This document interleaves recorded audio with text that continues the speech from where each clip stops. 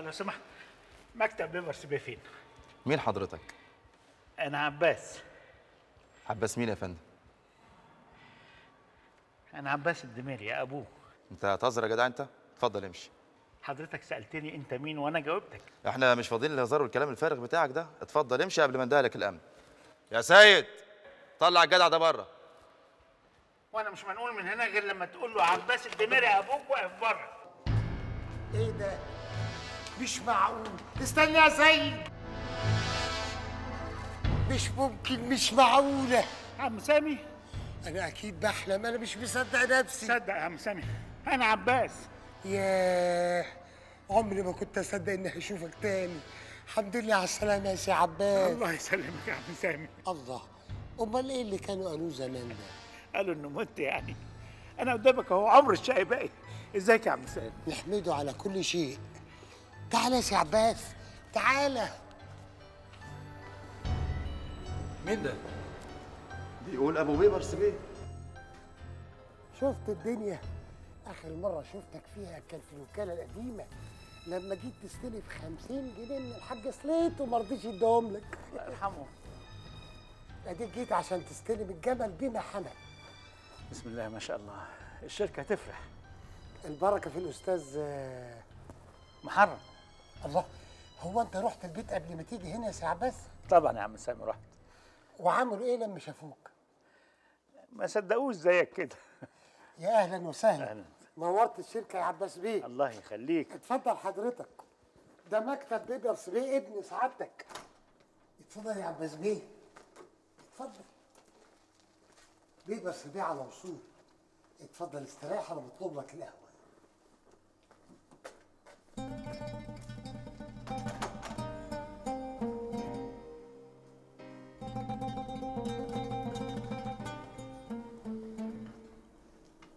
هشيل اليافطه دي من هنا.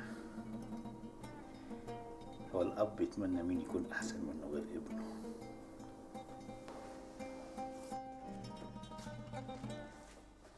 اتفضل القهوة يا عباس بيه. عباس بيه. لحق ينشر الخبر. تعالوا تعالوا اتفضلوا.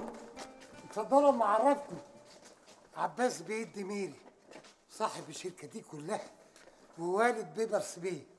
الحمد لله على السلامة يا باشا. الله يسلمك نورت الشركة يا عباس بيه. متشكر قوي قوي بصراحة سعادة الباشا كنا عاوزين نتكلم مع سعادتك في حاجات مهمة. بس كلنا مكسوفين نتكلم معاك عشان تسكت يا أستاذ سيد. من أولها كده تاخدوه وتدوشوا دماغه. سيبهم يا عم سامي قولوا كل اللي انت عايزينه. بس أنا عايز أقول لكم حاجة. الأستاذ بيبرس هو مدير الشركة. أنا كل اللي هقدر أعمله إن أنا أكلمه ويشوف طلباتكم. يعمر بيتك يا باشا. يعيش عباس بيه يعيش عباس بيه يعيش عباس بيه يعيش عباس بيه يعيش عباس بيه يعيش عباس بيه يعيش عباس بيه يعيش عباس بيه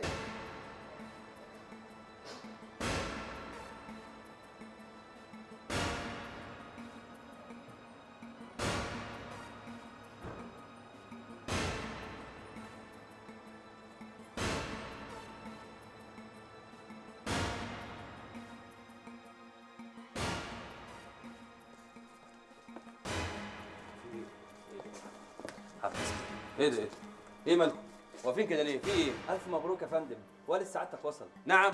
والدي؟ والدي مين؟ اقعد اقعد اقعد اقعد اوعى اوعى انت وهو اوعى اوعى. الحمد لله على سلامة الوالد يا سعادة الباشا. الحمد لله على السلامة والله فرحنا لك يا سعادة الباشا. يلا طوعوا على مكتبك يلا. روحوا شوفوا شغلكم يلا. أستاذ سامي انده الامن يرموا الراجل ده بره يلا. ما يصحش يا بيبرس بيه ده والدك يا ابني. نفذ اللي بقول لك عليه فورا يلا. سيبنا سيبنا يا عم سامي شوية حاضر يا سي عباس. تاني. انت تاني. وهنا في مكتبي. اسمعني يا بيبرس اسمعني يا ابني وحاول تفهمني. افهم إيه يا راجل يا حرامي يا نصاب يا مزور انت. أنا هطلب لك البوليس. يا بيبرس مش محتاجة بوليس يا ابني. نزل إيدك دي. معلش. أنا عذرك الصدمة شديدة عليك. انت عشت طول عمرك مقتنع ان أبوك مات واتدفن. فجأة بعد 20 سنة يطلع لك أب كده. اسمع يا راجل انت أنا ابويا مات واللي بيموت ما بيرجعش تاني انت فاهم؟ صح. انت صح. لنفرض جدلا إن أبوك مات وأنا مش أبوك. ما تحبش يا بيبرس. يرجع تاني. بطل فلسفة يا جدع انت. أنا ابويا كان راجل محترم. مات واندفن وخلاص خلصنا. لا يا بيبرس. أنا متأسف يا ابني. أبوك ما ماتش. أبوك واقف قدامك دلوقتي. وأنا إيه اللي يثبت لي؟ هو أي حد يجي من الشارع كده يقول إن هو أبويا؟ أخده في حضني على طول. معاك أوراق؟ معاك مستندات؟ بتقول إن أنت أبويا؟ أنا معايا اللي أهم من الأوراق والمستندات. بص لي. يا ابني بص لي. أيوه. ما أنتش حاسس بإن أنا أبوك. ما أنتش حاسس باحساسي يا ابني. أنا مش هطلب لك يا بوليس. أنا هطلب لك مستشفى الأمراض العقلية. انت راجل مختل عقليا. حتى لو أنا مختل عقليا. أنا أبوك يا بيبرس والله العظيم ثلاثة أنا أبوك. أنا عباس الدميري ومش هتقدر تنكرني. اسمع يا بيبرس أنا مش عايز كل الفلوس اللي سابها عني ما تهمنيش. والله ما عايزها ومش جاي عشانها. أنا عايزك أنت يا حبيبي. عايز ابني. أنا مش عارف أنت قادر تتماسك إزاي. أنا يوم ما خلفتك يا بيبرس كنت موقوف عن العمل وما حلتش ولا مليم لكن شفتك على إيدي كده وانت حتة لحمة حمراء. حسيت إن أنا أغنى راجل في الدنيا دي كلها. شوف بقى يا راجل أنت واضح إنك بتلعب لعبة كبيرة قوي عشان تاخد لك قرشين. وهتفتكر الكلمتين اللي أنت قلتهم دلوقتي دول هيأثروا عليا أو حتى هيجيبوا معايا نتيجة. لا يا ريت بقى من الآخر كده تأثر وتقول أنت عايز إيه. ما أنا قلت لك يا ابني أنا عايز إيه؟ عايز ابني. ما تقوليش ابني دي تاني انت فاهم؟ يلا يلا امشي من هنا يلا. بيبرس مد إيدك على أبوك يا ولد؟ بابا الراجل ده راجل نصاب مش أبويا. أنا مش بابا. الراجل ده هو أبوك يا بيبرس نعم. إيه ده بقى؟ ده فيلم رسمينه سوا؟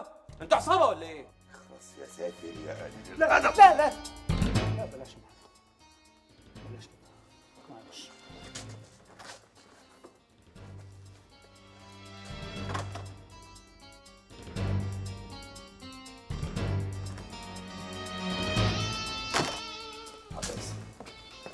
عباس أرجوك استنى.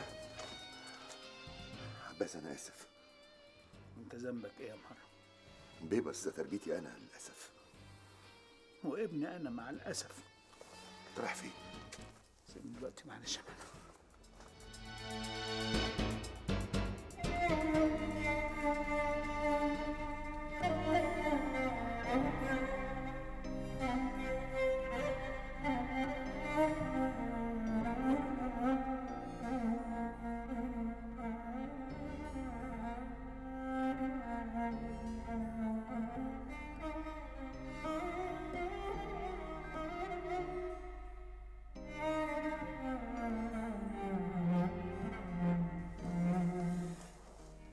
يعني مفيش حد عارفك ومعترف بيك دلوقتي غيري أنا.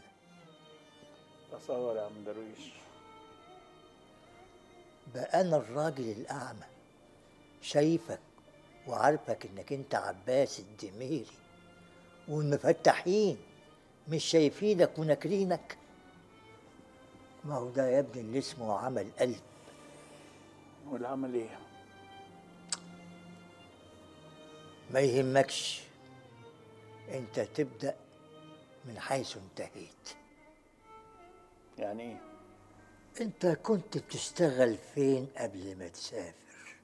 في المدرسة. مدرسة إيه؟ الحكمة الثانوية. خلاص. كأن العشرين سنة اللي فاتوا دول ما كانوش. وتروح مدرستك. أروح المدرسة أعمل إيه يا عم درويش؟ تلحم الخيط اللي انفك. من مطرح ما انفك. ده عشرين سنة يا عم درويش. ما دي مشكلتك إنك مش واثق من نفسك. أنت مش عارف إنك أنت عباس الدميري ولا لأ. طبعا عارف.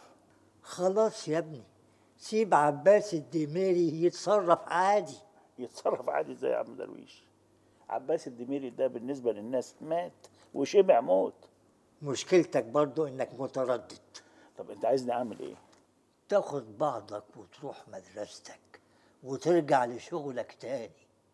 عباس الدميري لو وقف في الفصل يشرح للتلامذة هيثبت إن عباس الدميري عايش مش مات. يا عم درويش بس أنا منقطع المدرسة دي عشرين سنة. هيرضوا يرجعوني تاني؟ لو رجعوك يبقى خير وبركة. ما رجعوكش اطلب الملف بتاعك يبقى معاك إثبات رسمي إنك أنت عباس الدميري. لو سمحت. أيوه أمر يا ابني من فضلك عايز كتاب سقط الزند. لا ده مش موجود. استنى. موجود عند درويش أنا لمحته. في حتة. هنا وبعدين معاك يا عباس. مفيش فايدة. اللي فيه داء ما يبطلوش. آه يا أستاذ. كل ده يا ابني ومش شايفينك. ده أبوك يا بيبرس. أبوك اللي اتغرب عشرين سنة وراجع ملهوف عليكم. ومش عايز منكم أي حاجة في الدنيا غير إنه يسمع منكم كلمة واحدة بس. كلمة بابا. أنا ما اعرفوش أيوه بس أنا أعرفه كويس. أعرفه براحتك وأنا مالي. بيبرس. بيبرس لعاشر مرة بقول لك إن الراجل اللي طردته ده يبقى أبوك وما يستاهلش منك ابدا إنك تعامله بالطريقة دي. شوف بقى حضرتك أنا همشي معاك للآخر وهفترض فعلا إن الراجل ده أبويا. أبويا اللي مات واندفن من 20 سنة هفترض إنه رجع فعلا. مطلوب مني إيه بقى؟ مطلوب مني إني أقول له أهلا وسهلا اتفضل وحشتني يا بابا اتفضل خد الشركة والفلوس وكل حاجة واديني مصروفي. مطلوب مني إيه بالظبط؟ فهمني. يا ابني افهمني أبوك لا يمكن يأخر عليك أي حاجة ابدا. خلاص. لو هو بقى أبويا فعلا وقلبه عليا زي ما بيقول يبعد عني. مش أنت بتقول إنك تعرفه كويس؟ قول له يبعد عني أحسن له. بيبرس أنت أكيد جرى لمخك حاجة. الكلام اللي أنت بتقوله ده. بقول لك إيه أنا أبويا مات خلاص والفلوس دي بتاعتي أنا ومش هتنازل عن مليم واحد منها لأي حد في الدنيا كلها. أنا عارف عارف كويس قوي الراجل ده عايز إيه. داخل لي في دور الحنية و... وعايز يسمع كلمة بابا والكلام الفارغ ده. شوية شوية بقى يقول لي هات الشركة والفلوس ويكوش على كل حاجة. أنا عارف خطته كويس. بعدين بقى يا مش الحاجات دي أنا بقى مش حاسس إن الراجل ده أبويا. بالعكس كل ما أشوفه يركبني مليون عفريت. بس بقى اللي مستغرب له حاجة واحدة بس. أنت ليه مصمم تدافع عن الراجل ده؟ ليه مصر تقف في صفه؟ دي أمي اللي هي أمي. بتقول إن أبويا مات واندفن من 20 سنة. وإنها لا عمرها شافت الراجل ده ولا تعرف عنه أي حاجة خالص. يبقى خلاص خلصنا بقى. الموضوع ده اتقفل وأرجوك أرجوك ما تفتحوش معايا تاني.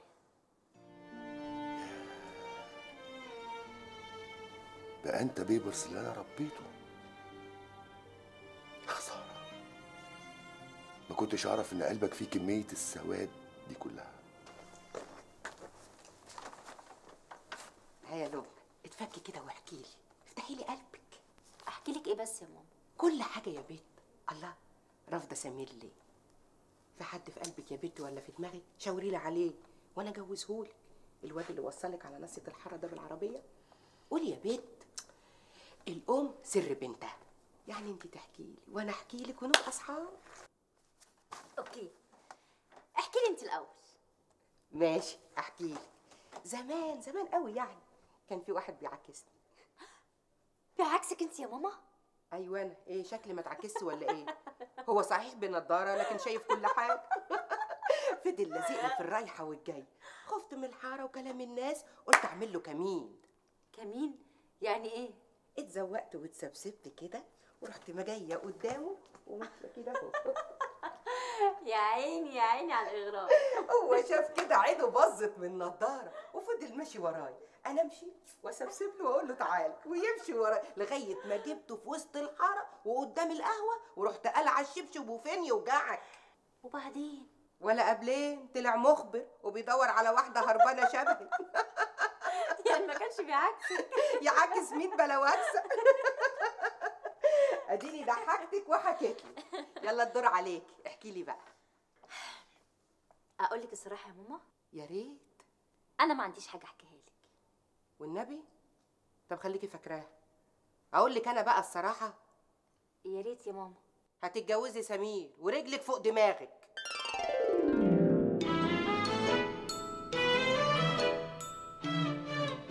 لو سمحت والله. افندم عم قرني مين حضرتك؟ ما أنتش فاكرني؟ لا يا ابني مش واخد بالي. أنا عباس الدميري مدرس تاريخ أهلا أهلا يا أستاذ عباس. الحمد لله على السلامة. الله يسلمك يا عم قرني المدرسة اتغيرت قوي وغيرتوا اسمها كمان. مش معنى الاسم اللي هيفضل على حاله؟ ما كل حاجة اتغيرت يا أستاذ. وفين الحوش؟ صغر قوي هو عاد في حوش؟ ما كله اتبنى فصول. والولاد بيروحوا فين في الفسحة؟ فسحة إيه يا أستاذ؟ دي بقت ثلاث فترات دراسة والأولاد بيحضروا الحصة على الواقف والفصل فيه 70 80 تلميذ زي علبة السبتي ومين الناظر دلوقتي؟ الأستاذ ممدوح سعد. لسه الناظر؟ أمال مين اللي هيعكنن علينا؟ والوكيل مين؟ الأستاذ سليمان عز الدين. برضه؟ وكل حاجة بتتغير في البلد دي إلا الموظفين. كل واحد ماسك في الكرسي ميت عليه ما يسيبوش ولا بالطبل البلدي. طب ما أنت لسه الفراش أهو. ما أنا موظف حكومي برضه. على رأيك. يلا أنا داخل الأستاذ ممدوح. وراك بالقهوة على الريحة على حسب ما أنا فاكر. والله زمان يا أستاذ عباس. أعمل إيه بس يا فندم؟ أولياء الأمور ما وراهمش غير الشكاوى وإحنا بنشتغل فوق طاقتنا. حاضر حاضر يا فندم. أنا هبحث الشكوى دي بنفسي. مع ألف السلامة.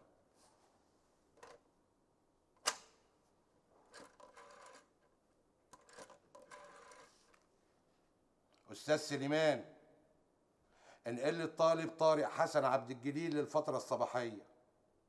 أيوه يا سيدي ما هو كل واحد عنده واسطة عاوز يريح ابنه. طبعا أبوه هيجيلك هو كلم مدير عام المنطقة التعليمية. إيه؟ بتقول مين؟ عباس الدميري مين؟ آه يخرب عقلك. هاته هاته تعال على طول. اتفضل. اتفضل يا عباس. اتفضل.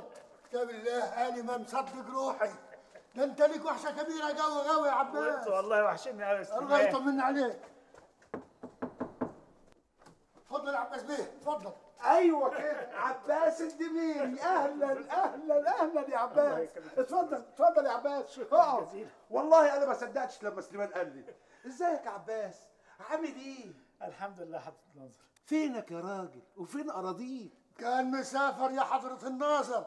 عملهم على قلبه كد كده عباس طول عمره شاطر وحظه حلو. والله والله وملك عليا يمين.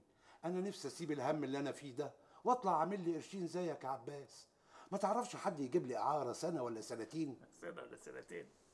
عارتي كانت 20 سنة حضرة الناظر. يا بختك يا بختك يا سيدي. لازم واسطتك كانت جامدة قوي قوي قوي قوي والله أنا خايف أقول ربنا ينولها لك. بلاش أحسن. صدقني حضرة النظر مفيش أحسن من بلدنا دي. أهو إحنا كده. بعد ما سافرت وعملتهم ولميت الدولارات على الاسترليني جاي تقول لي مفيش أحسن من البلد دي. القصد.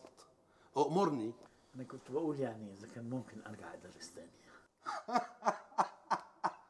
بعد ما عمل الخميرة وقبض الدولارات جاي السلة.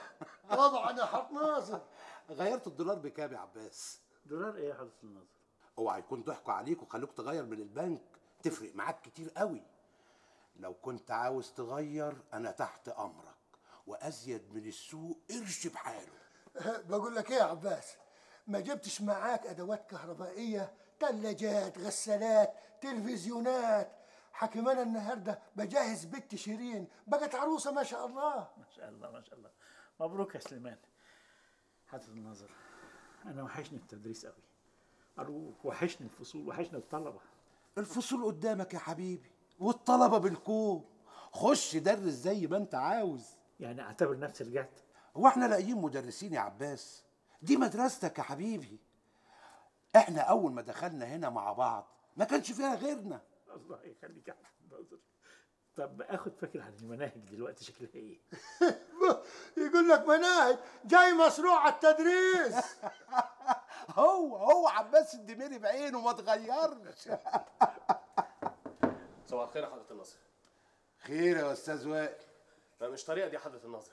80 طالب في فصل واحد طب أنا درس لهم إزاي؟ وبعدين حضرتك كل يوم تبعت لي 3 4 زيادة والنهاردة بعت لي واحد تاني. ده مش أي واحد يا ابني. ده من طرف مدير عام المنطقة التعليمية شخصيا. أيوه حضرة النظر بيقول 80 واحد ده مولد يدرس لهم صحيح إزاي؟ مش معقول. الأستاذ عباس الدميري؟ أنت تعرفني يا ابني إيه اللي اعرفك ده الأستاذ وائل مدرس التاريخ لأولى وتانية ثانوي يا عباس. لا أنا وائل تلميذك يا أستاذ عباس. وائل؟ إيه مش فاكرني؟ وائل فكري. بالظبط يا فندم. بسم الله ما شاء الله.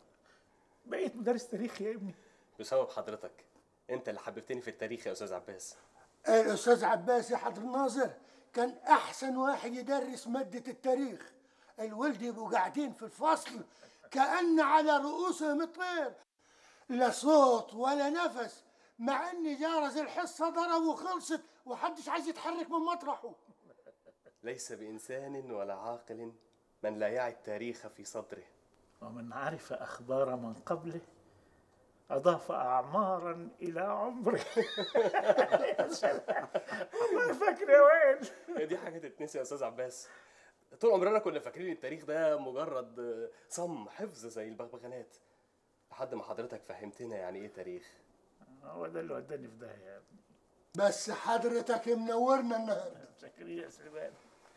الحمد لله على السلامة يا أستاذ عباس. الله يسلمك يا رب. المدرسة نورت. الله يخليك. يا حضرة النظر استلم إمتى إن شاء الله؟ شوف يا أستاذ عباس أنت بقالك 20 سنة متغيب عن العمل. بكرة الصبح تاخد بعضك وتروح المنطقة التعليمية تجيب قرار باستلام العمل. ودي مسألة سهلة وبسيطة هيمضوا لك قرار الاستلام. تجيبه وتدلنا الجاي على هنا على طول وأنا هنزلك في الجدول طوالي. ألف مبروك ألف مبروك يا أستاذي. شكرا شكرا. الفسحة. ظابط ودنه على جرس الفسحة طبعا. هو ده يا عباس الدماري. اسمحني يا أبص بس على الحوش. أنت ربع قوي اتفضل.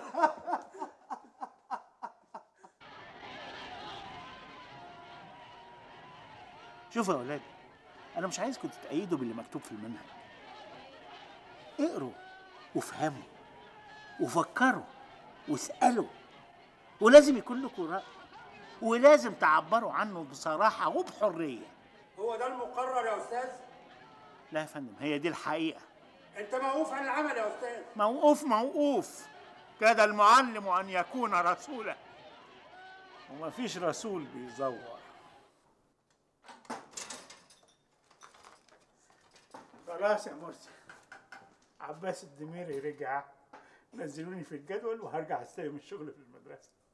وهيدوك كام؟ مش مهم بكام المهم إن أنا هرجع أشتغل في المدرسة تاني. هرجع أدرس في الفصل. هيرجع تاني عباس الدميري. بذمتك ده كلام. واحد وارث ملايين يروح يشتغل بكام ملطوش. ده كلام. أستاذ مرسي الأيام أثبتت لي إنه هيفضل هناك قوة ثقافية ساحقة بيني وبينك. مش فاهم. يعني الحمار هيفضل طول عمره حمار يا أستاذ مرسي. آه. أنا كده فهمت. شوف يا مرسي أنا لما أشتغل في المدرسة يبقى في اعتراف ضمني من الحكومة إن أنا عباس الدميري. الفيلسوف ديكارت بيقول إيه؟ أنا أشك. اذا أنا موجود. عباس الدميري يقول إيه؟ أنا أدرس. اذا أنا موجود. هو أنت قابلت الدكرور ده في المدرسة؟ وبيسلم عليك يا أبو مرسي. الله يسلمك. أنا مش عارف الدنيا دي لو مفيش جهلة زيك فيها كان هيبقى طعمها إيه؟ عينيا يا أستاذ ممدوح أنت تؤمر. أيوه أهو قاعد قدامي أهو. هنخلص كل حاجة طبعا. مع السلامة. متشكرين قوي تعبينك معانا. تعبك راحة يا أستاذ عباس. قلت لي أنت انقطعت عن الأمل من إمتى؟ من 20 سنة. 20 سنة؟ والسنين دي كلها كنت فين؟ كنت في العراق. شوف يا أستاذ عباس المدة دي طويلة قوي والمسألة دي مش في إيدي. أمال في إيد مين؟ دي لازم يتكتب بيها مذكرة ويمضي عليها سيادة الوزير شخصيا بالموافقة. آه. دخلنا في التعقيدات بقى. ولا تعقيدات ولا حاجة يا أستاذ عباس. ده معالي الوزير عمره ما رفض تعيين مدرس. ده إحنا بنتنشأ على المدرسين. ما تقلقش هيمضيهولك. أوي أوي. بس لازم تستوفي الأوراق الأول يا أستاذ عباس. أوراق إيه؟ الأوراق العادية. صورة المؤهل والفيش والتشبيه. وشهادة حسن سلو وسلوك والبطاقة. ممدوح به هناك يعملها لك في الثانية. عباس الدميري عباس الدميري أهو. عباس حسن الدميري عامل بالسكة الحديد. لا يا سيدي عباس حسين الدميري. أيوه حاضر. عباس حسين الدميري صاحب الملهى الليلي. لا يا سيدي مدرس تاريخ. عباس حسين الدميري مدرس تاريخ. هو أنا يعني بقول الكلام ده من دماغي؟ أهو عباس حسين مختار الدميري. مفيش مختار عباس حسين الدميري بس. مفيش عندي حد بالاسم ده خالص. مفيش إزاي؟ ما أنا قدامك أهو. ما تعطلنيش يا أستاذ أنا قدامي الورقة أهو واتفضل لو سمحت. طب أنا أثبت إن أنا عباس الدميري إزاي؟ روح المحكمة واثبت زي ما أنت عايز. هقول لهم أنا مين؟ عايز أي ورقة أي إثبات. ما تعطلنيش يا أستاذ وما تعطلش نفسك. عباس حسين الدميري مش موجود في السجلات خالص.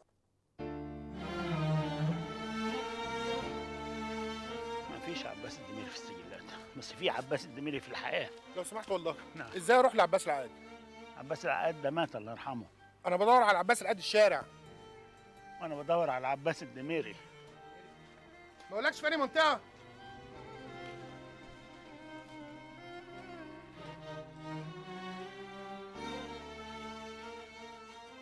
عباس.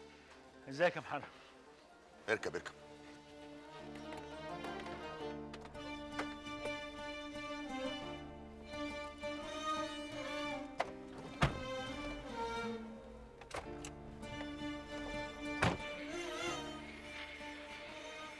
خير محمد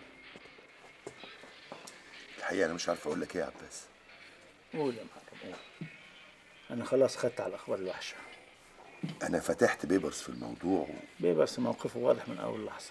ومش قادر أفهم. مش قادر أفهم هو بيعمل كده ليه. حد يظهر له أب بعد العمر ده كله ويتصرف بالطريقة دي؟ إزاي بس؟ لسه صغير. صغير إيه أنت التاني؟ ده قفل 21 سنة. برضه صغير.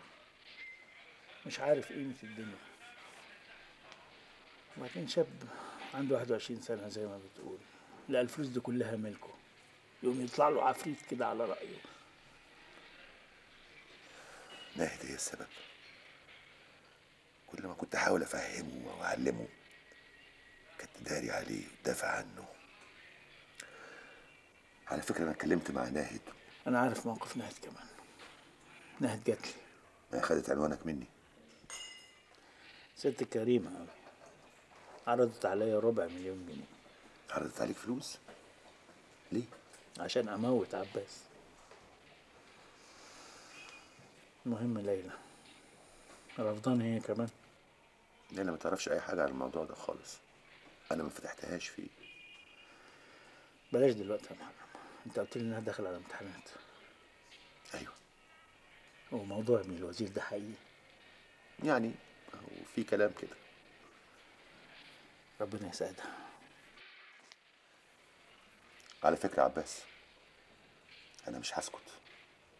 إذا كان ناهد وبيبرس مش عايزين يعترفوا بيك فأنت لازم تاخد حقك بالقانون. أنت لازم ترفع قضية يا عباس. أرفع قضية على أولادي يا محرم. أيوه وأنا اللي هرفعها لك. هات بطاقتك عشان أعمل لك توكيل المحامي بتاعي. إيه في إيه يا جدع أنت؟ ما تجيب بطاقتك. ما عنديش بطاقة. أي إثبات شخصية مش عندك باسبور؟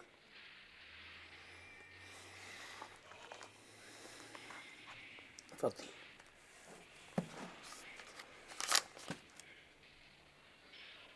لطفي حسين الجنايني. هو ده الإنسان الوحيد اللي متمسك بيه ومش عايز يسيبني ابدا. الصلاة على النبي الصلاة على النبي. عيال تلبس وتتأنتج وعيال من البرد التكتك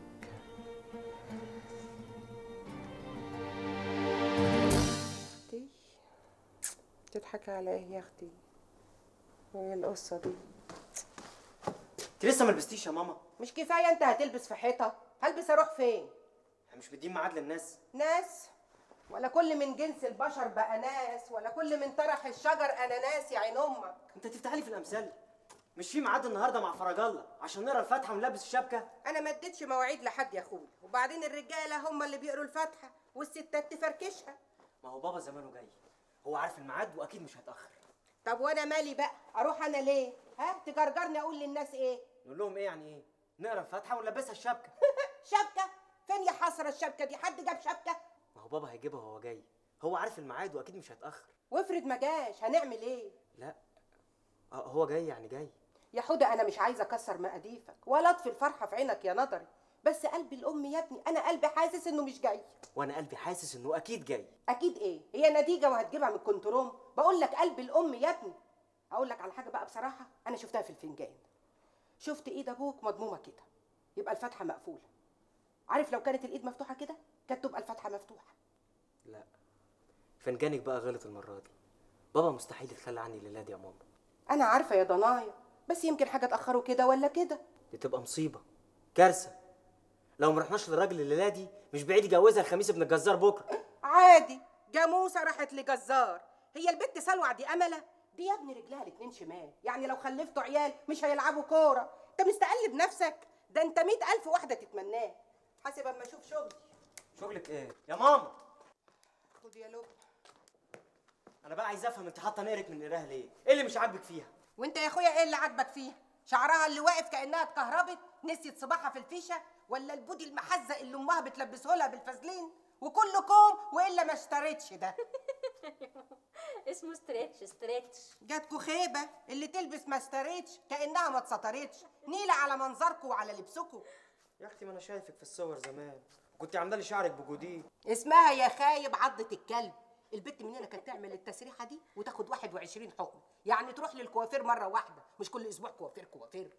طب معلش يا ماما علشان خاطري. قومي البسي بقى وروحي معاه وانت مالك انت؟ ما أنتوا بتشدوا في شعر بعض ليل ونهار. وأول ما تدخل أنا القطة تحمل الفار طب إيه رأيك بقى؟ أنا مش رايحة أنا عيانة. عيانة بقى عندك إيه؟ عندي عيا سياسي. يا ماما الساعة داخلة على سبعة ونص وميعادنا مع الناس الساعة 8 عشان خاطري والنبي قومي البسي. مش انت بتقول أبوك جاي؟ استنى أما أبوك يجي ويروح معاك. يعني مصممه أيوه مصممه لبنى. بعد إذنك خشي أنت البسي وتعالي معايا. أنا؟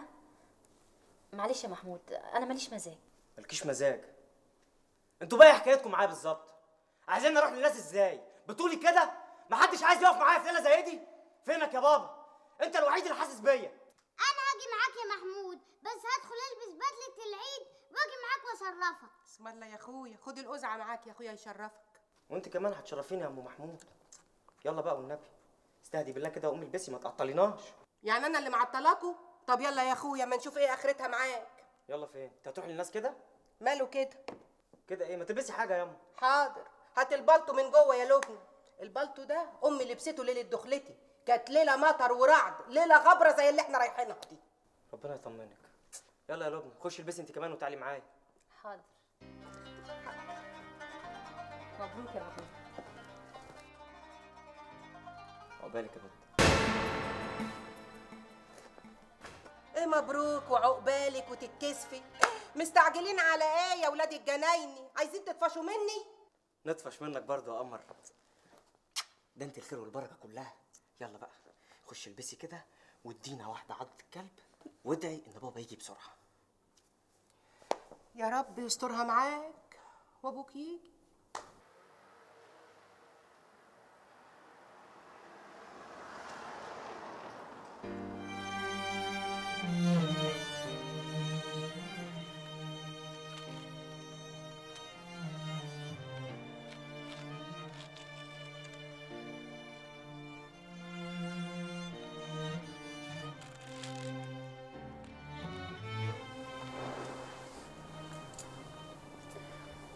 الحقيقة أنا مش عارف أنا جيت هنا إزاي.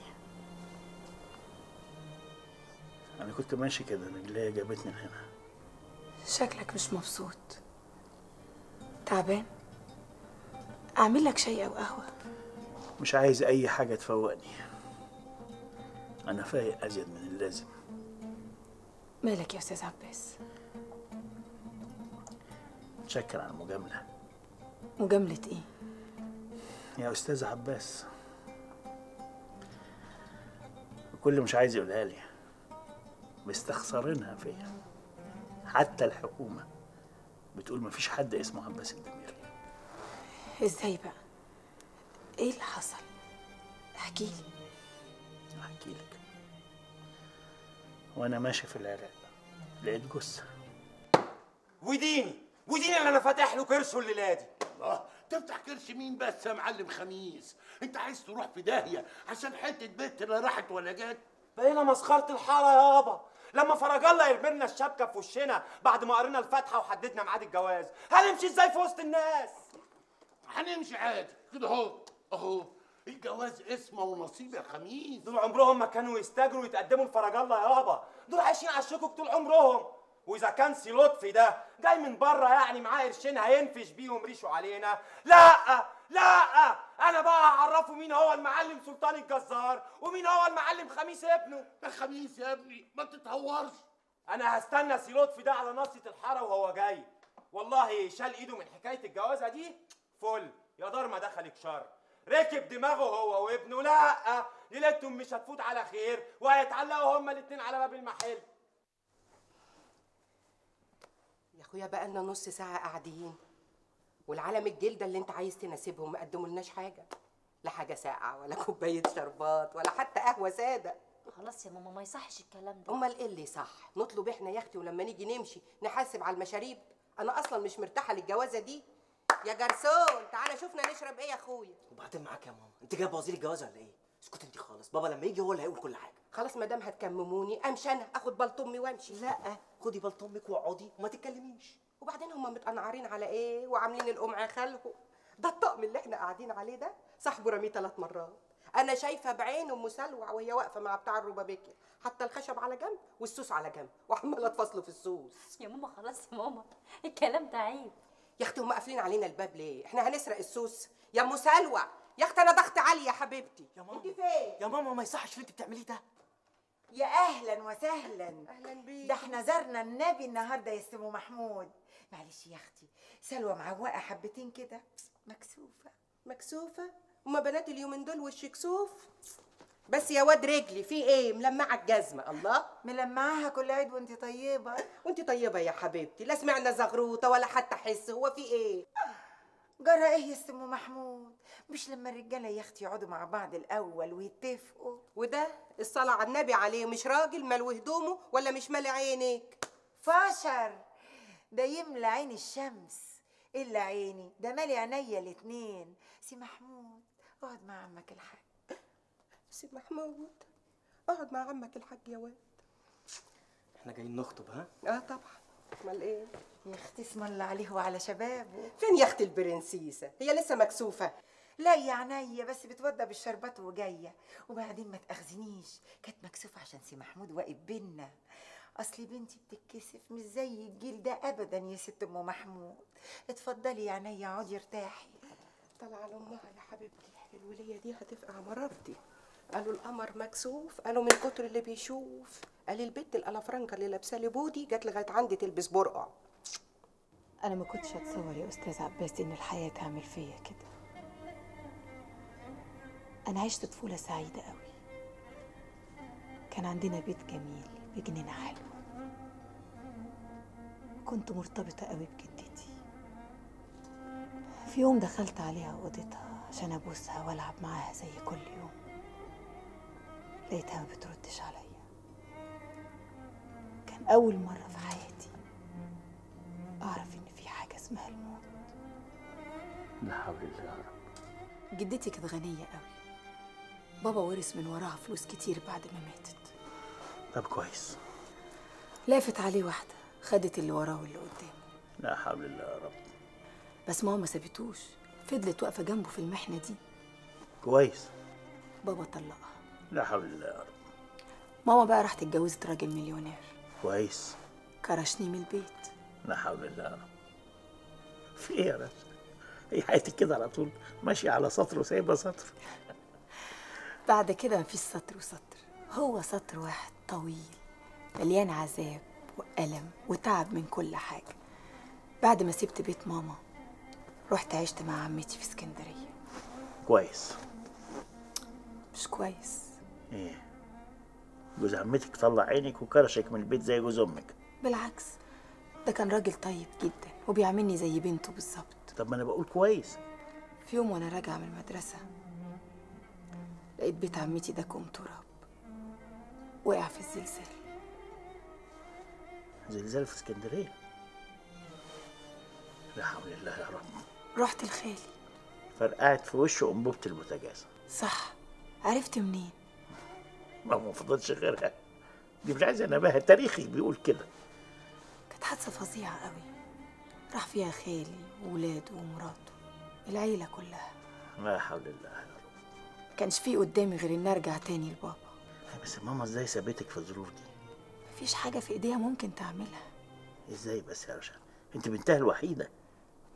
ما هي ماما وهي مسافرة شرم الشيخ هي وجوزها وقعت بيهم الطيارة. لا حول الله يا رب. خلاص. خلاص. رحت لباباكي طبعا وبعدين؟ كان أحن إنسان عليا في الدنيا دي كلها. مش هقدر أقول كويس لأن أنا عارف نهايته. أنا واخد عزاه بإيدي الله يرحمه.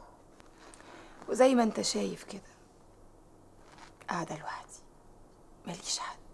أيوه لسه في عمتك؟ آه بالظبط كده. هي اللي فاضلالي بقى من ريحة المرحوم. ربنا يخليها لك يا رشا. ويخليك ليا يا أستاذ عباس.